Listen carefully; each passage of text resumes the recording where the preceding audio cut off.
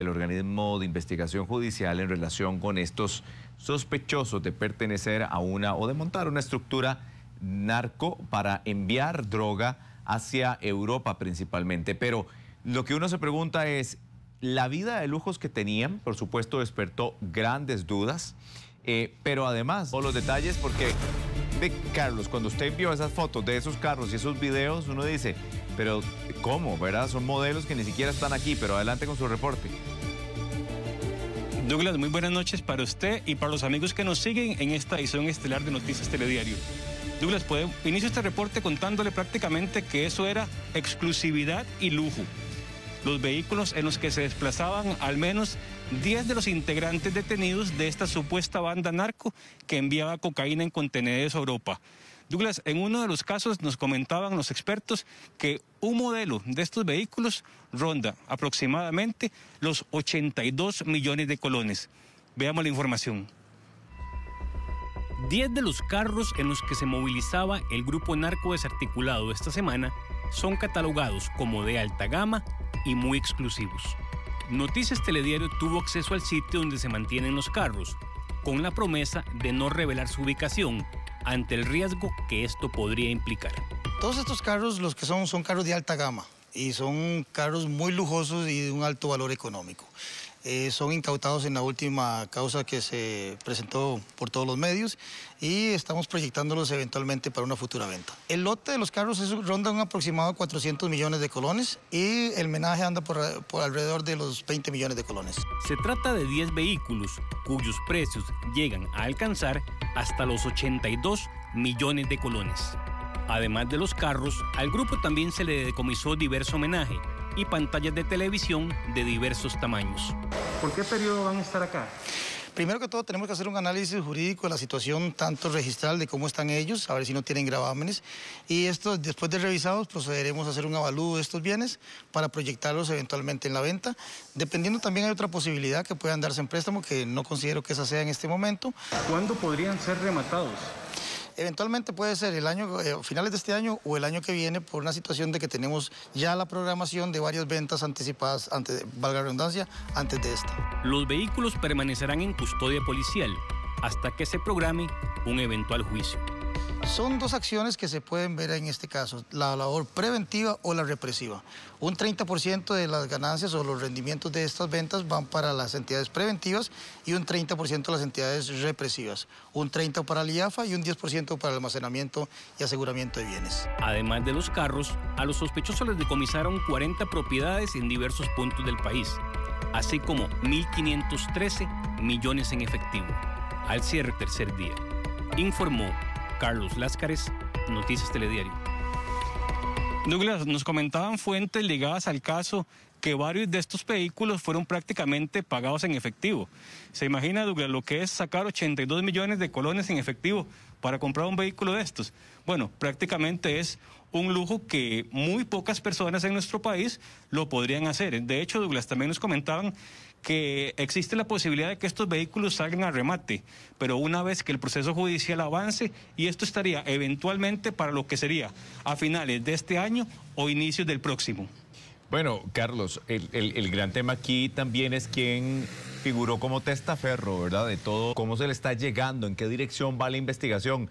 Aquí esto es apenas Mire, nosotros nos impactamos por esta cantidad de bienes, Carlos, usted bien lo dice, 82 millones, no es como que yo llegue, ¿verdad? Voy a ir a ver cuánta platica tengo en el banco, no, es nuestra realidad.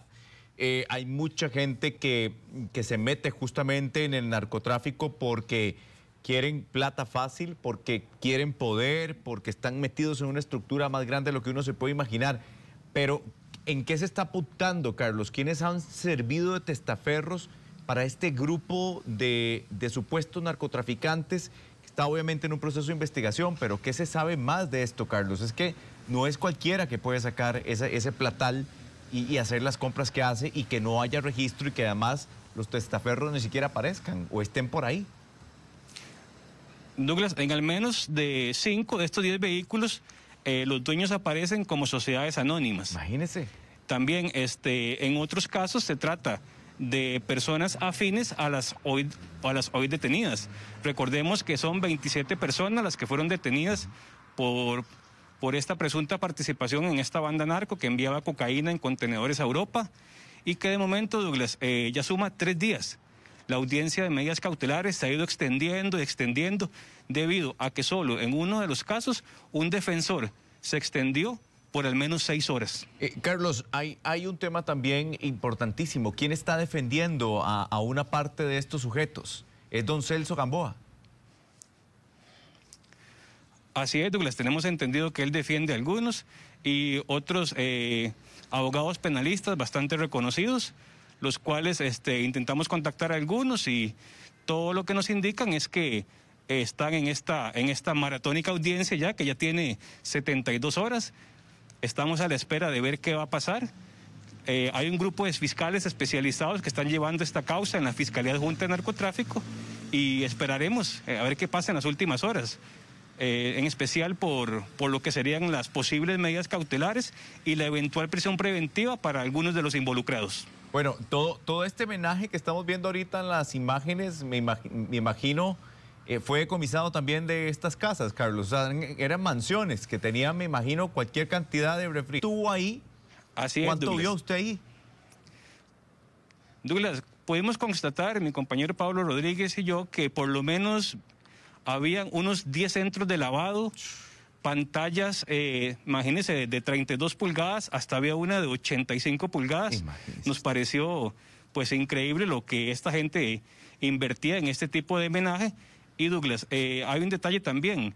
Antes se decomisaba en este tipo de eventos prácticamente todo, sin embargo ahora no. Ahora han sido capacitados los fiscales con la intención de poder decomisar bienes con bastante valor, los cuales eventualmente puedan ser rematados. Específicamente vimos lo que fueron televisores, eh, centros de lavado, vimos 10 eh, vehículos, pero ya no es como, como años atrás que prácticamente se desvalijaba la casa, sino que ahora son eh, artículos muy puntuales que van a ocupar cierto espacio, pero que sin embargo a un tiempo muy corto puedan ser rematados.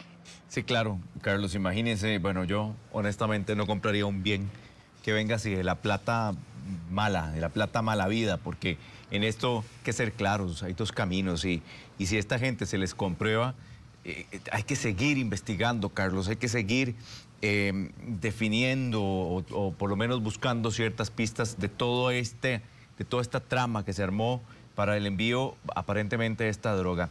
Mire, ahora que estamos hablando, eh, Carlos, de esto, justamente quiero hacer un avance de eh, hashtag que tenemos para que la gente pueda comentar ahora que están esas imágenes puestas.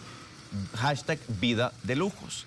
La gente puede, o nos puede, es más, no, no, no, no, es que me, están diciendo, bueno, ¿sabe qué? Tíreme la cancioncita, porque esto es como lo que dice Camilo. Que me ponga ropa cara, Ahí está, uno mejor, limpio, limpio, pero comiéndose el arroz y frijoles como Dios manda.